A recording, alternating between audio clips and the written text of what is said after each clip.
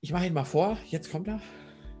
Der auditive Typ ist so der Typ, der ja tief in den Bauch hineinatmet. Er spricht schon auf eine Weise, wo der Klang eine Bedeutung hat.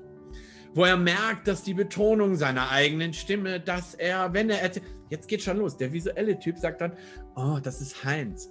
Heinz hört sich ja immer so gut selber, so gern selber reden. Also da fängt es nämlich schon an mit den Missverständnissen. Aber wisst ihr, Heinz ist einfach nur auditiv.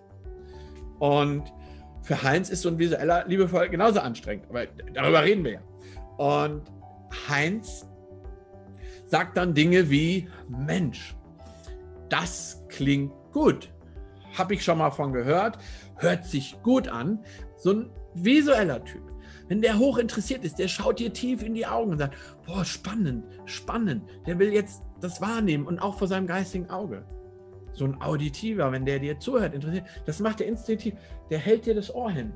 Echt? Schaut nach unten. Mhm. Ja, nee, ja, nee, habe ich auch schon mal gehört.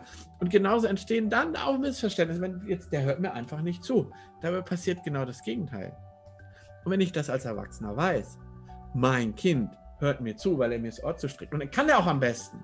Und nicht sagt, schau mir in die Augen, wenn ich mit dir spreche, auch als Lehrer. Dann habe ich es echt schwierig, weil ich muss mich jetzt gegen meinen Instinkt, wie ich lernen, kombinieren will und das mit Körper verbinden, muss ich dir jetzt in die Augen schauen und da geht gerade vielleicht ein bisschen was verloren.